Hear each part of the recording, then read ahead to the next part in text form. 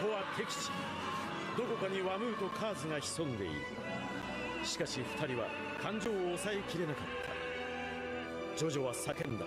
シーザーの名をリサリサは流した悲しみの涙をけれどもシーザーの名を呼んでも帰ってくるのは残酷な静寂だけシーザーは死んだのだ。